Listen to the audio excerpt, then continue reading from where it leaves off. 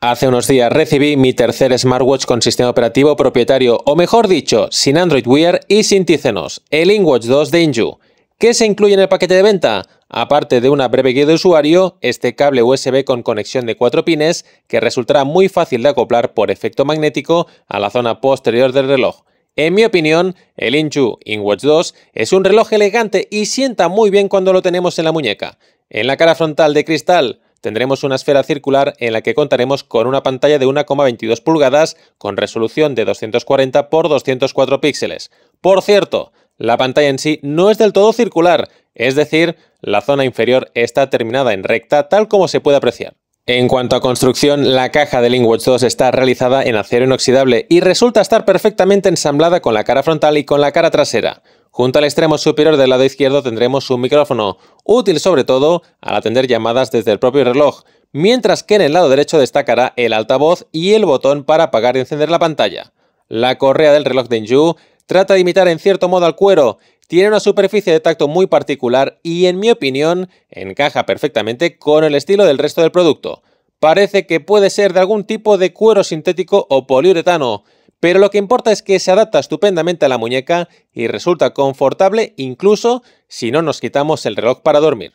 La correa cuenta con un sistema de cierre estándar con una hebilla de acero inoxidable y hasta 10 puntos de fijación. Solo lamento que no sea intercambiable, es decir, que no podamos comprar una de medida estándar a nuestro gusto. Si le damos la vuelta al reloj, tendremos una cubierta posterior atornillada, tras la cual se encuentra la batería integrada de 320 mAh, lo que se traduce en más o menos un día de uso, es decir, unas 15 horas aproximadamente.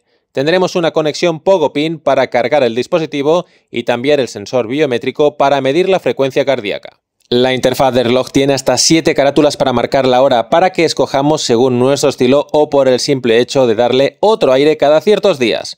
El uso del dispositivo de Inju es, en mi opinión, muy intuitivo y práctico, y creo también que la respuesta es buena. En el interior del dispositivo se incorpora un procesador MediaTek MT2502 y una memoria RAM de 32 MB. Hallaremos un apartado de ajustes para adaptar el brillo de la pantalla y el nivel de volumen del sonido, activar la opción que enciende la pantalla con un simple gesto o activar y desactivar la conectividad Bluetooth. La interfaz del sistema operativo del InWatch 2 tiene una iconografía alternativa en blanco y negro que creo le da un toque muy diferente a nivel visual, además de brindar la posibilidad de escoger entre cuatro fondos de escritorio. Con un simple gesto tendremos acceso a un menú para fácilmente ajustar el brillo de la pantalla y volumen del sonido, entre otras cosas. A continuación te indicaré aquellas funciones que no he aprovechado o que sencillamente no me han resultado prácticas. Con captura remota es posible utilizar el InWatch 2 como control remoto para tomar fotografías con el teléfono vinculado. Con música BT se podrá reproducir la música almacenada en el teléfono asociado utilizando el altavoz del reloj. Con calendario, lo que no tenemos con el actual software es una visual de los días del mes, así que no resulta de mucha utilidad. Y finalmente, cronómetro no creo que sea una función muy necesaria y creo yo no la utilizarás muy a menudo. ¿Cuáles son las funciones más útiles en este smartwatch? Buscar mi dispositivo será una buena herramienta para localizar el teléfono, esté donde esté, siempre que esté conectado al reloj. Claro está, la función básica para este producto será el poder dar cuenta de las notificaciones recibidas, aunque no en todos los casos se pueda leer el mensaje entero. De hecho, no se necesita instalar ninguna aplicación específica en el reloj Inju para recibir alertas de las apps instaladas en el teléfono. El dispositivo sí tiene instalada una aplicación de mensajería. ¿Por qué? Con ella se pueden leer los mensajes de texto e incluso llevar a cabo dos acciones clave llamar al remitente del mensaje o contestar a ese mensaje a través de un texto específico predeterminado. La función que permite medir la frecuencia cardíaca me ha parecido muy particular por la metodología que utiliza. No se hace una sola medición del pulso, sino que se mantiene una medición constante. Así pues, si estás haciendo ejercicio, puedes ver en todo momento si se dispara o no el ritmo cardíaco. Con la función podómetro se podrá medir los pasos y distancias diarias, que luego quedan registrados en un histórico. Y por si acaso, si necesitas acometer unos objetivos diarios o semanales, siempre puedes fijar una cifra de pasos como reto personal. La función no está siempre activa, tendrás que decidir manualmente cuándo iniciar o detener la medición de tu actividad. Con este smartwatch se pueden atender y realizar llamadas, una función útil para una conversación corta o al menos el poder contestar primero desde el reloj y luego derivar el sonido al auricular del teléfono. Además, si no tienes manos libres en el coche, este reloj será perfecto para contestar una llamada sin soltar las manos del volante y hablar con total seguridad. La aplicación Música BT, si conectamos auriculares, también permite controlar la reproducción de música, práctico para no tener que sacar el terminal del bolsillo a cada momento.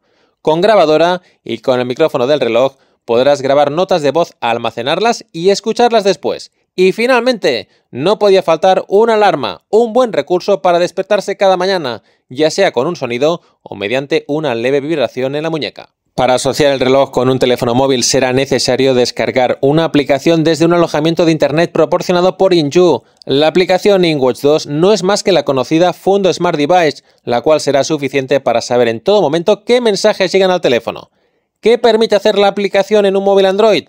Al pulsar sobre Encontrar dispositivo, se activa a distancia el reloj y se comienza a emitir un sutil sonido, lo que nos permitirá hallarlo con facilidad se podrá filtrar de un listado las aplicaciones de las que uno quiere recibir notificaciones.